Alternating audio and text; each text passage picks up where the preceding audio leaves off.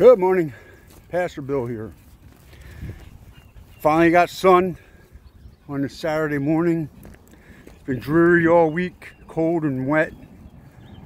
There haven't been out much with the with Sammy dog. So we're, we're out today, enjoying the sun.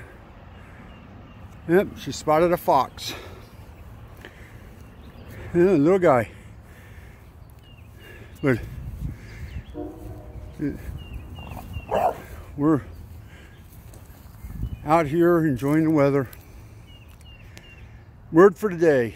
A wicked man hardens his face, but as for the upright, he establishes his ways.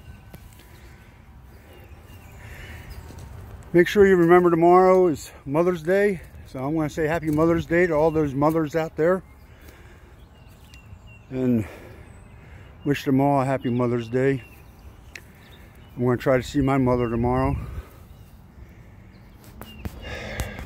Pray for the homeless in our nation.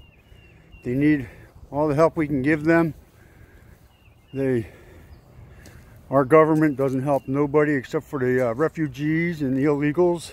They, they don't help out the uh, homeless. They round them up and make them disappear. Um, pray for the the Christians that are being killed by the Muslims around the world. We don't hear about it on the media. It's been covered up.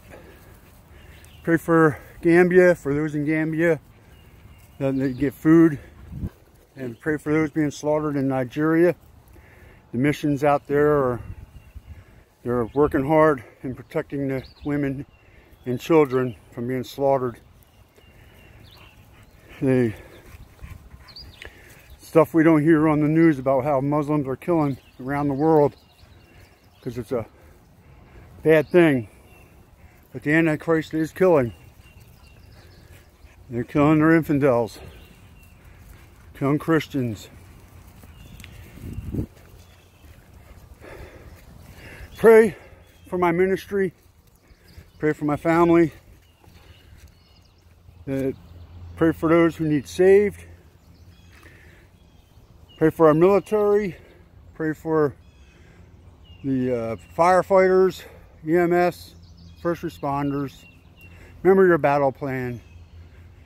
Pray, fight, and trust. Don't forget. We have to be strong in the Lord. Keep moving forward in our battle. Our minds are a battlefield. We got to keep clean mind.